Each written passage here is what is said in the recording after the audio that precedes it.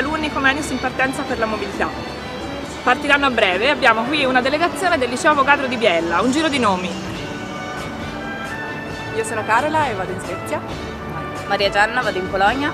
Arianna in Spagna. Maria Sole in Polonia. Angelica in Svezia. Pietro in Polonia. Beatrice in Spagna. Sara in Polonia.